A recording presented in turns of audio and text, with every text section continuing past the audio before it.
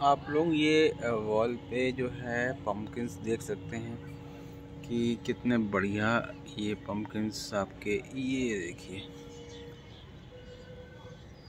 Just look at the colour and freshness ये देखिए कहाँ छुपा हुआ है।